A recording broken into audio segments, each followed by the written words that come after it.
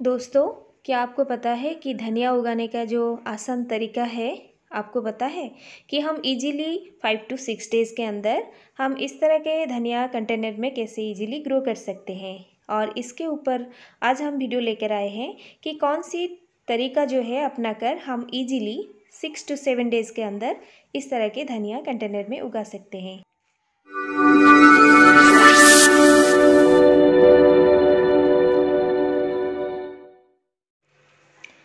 पहले जो धनिया होते हैं, हम इसको ये देखिए, मैंने इसको दो दिन लगभग फोर्टी एट आवर्स के लिए पानी में भिगो के छोड़ दिए थे। पानी के भिगोने के बाद क्या होता है कि जो धनिया के जो छिलके होते हैं, ये मोटे होते हैं। तो फोर्टी एट आवर्स के बाद जो जर्मिनेट का प्रोसेस है, वो इजीली स्टार्ट हो जाएँगे। जब हम सीड्स छिड़काव करेंगे मिट्टी के ऊपर, हम इस तरह जालीदार की जाली के ऊपर हम धनिया को जो है धो के छान लेंगे। फिर उसके बाद इसको हम एक दिन धूप में रख देंगे। ये जब पूरा ड्राई हो जाएगा, सीड्स पूरा ड्राई हो जाएगा, तब हम इसके लिए जो है मिट्टी रेडी करेंगे। और जो पॉट का साइज़ है, क्या लेना चाहिए? ये मैं गार्डन सॉयल ले रही हूँ सिक्सटी परसेंट और ये जो काउडंग कंपोस्ट है, इसको मैं ले रही हूँ थर्टी परसेंट। और ये है सैंड तो मैं इसको टेन परसेंट ले रही हूँ। ये तीनों चीज़ मिलाने का जो मतलब होता है कि मिट्टी के अंदर जो है मॉइस्चर मेंटेन होके रहेगा। आप चाहे तो इसके साथ भर्मी कंपोस्ट भी ले सकते हैं और जो लीफ मोल कंपोस्ट होते हैं उसको भी आप ले सकते हैं। और ये जो पॉट में ले रही हूँ ये हाइट में छोटे हैं मतलब ये इसका हाइट जो है चार इंच है। और नीचे के जो होल होते हैं और नीचे के पार्ट हम इसको बंद कर देंगे। इसके बाद हम इसके ऊपर मिट्टी रखेंगे। ये चौड़ा में ऊपर की तरफ़ लगभग बीस इंच है और हाइट में थोड़ा इसमें कम है। इसके बाद हम इसमें मिट्टी फिल करेंगे। मिट्टी जो फिल करने के बाद क्या होगा? तो हम इसको पूरी तरह पानी दे के पूरी तरह अच्छी तरह इसको भिगो देंगे और पूरा पानी में इसको फिलअप कर देंगे। और जब हम इसमें ये देखिए पूरा पानी भर गया। और ऊपर हम जो है ये सीड को इस तरह स्प्रिंकल कर देंगे। आ, मतलब आ, एक ही जगह ज़्यादा नहीं डालेंगे।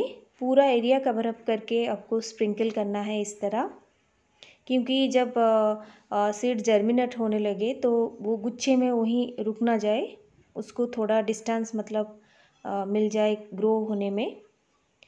और उसके बाद हम मैं ले रही हूँ ये थोड़ा सा लीफ मोल कंपोस्ट है मैं इसके ऊपर थोड़ा थोड़ा मतलब स्प्रिंकल कर रही हूँ।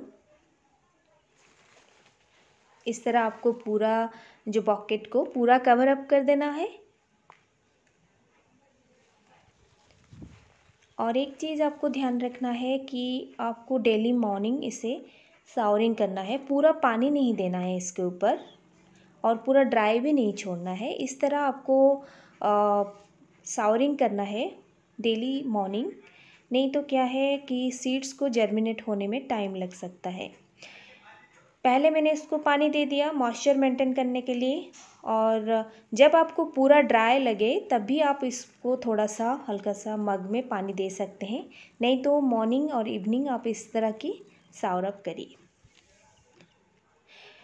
ये देखिए, ये दो दिन के बाद का अपडेट जो सीड्स जर्मिनेट होना स्टार्ट हो गए हैं। छोटे छोटे लिप्स आना इसके ऊपर शुरू हो गए हैं। ये आफ्टर टू डेज़ के बाद का जो अपडेट मैं आपको दिखा रही हूँ।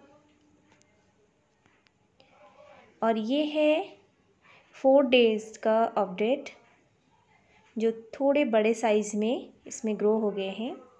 और आइए दोस्तों, ये हमारा सेवन डेज़ का फाइनल लुकअप है। मतलब और दो दिन में ये पूरा हाइट में आ जाएँगे। जो ये अमेजिंग ट्रिक है, मैंने आपको बताया है। तो कितने जल्दी आपको धनिया जो करिएंडर सीड्स ग्रो करने का तरीका। अगर आपको वीडियो आज पसंद आए हो तो लाइक ज़रूर करना शेयर करना भी मत भूलना, और हो सके तो चैनल को सब्सक्राइब भी करना मत भूलना। Thank you bye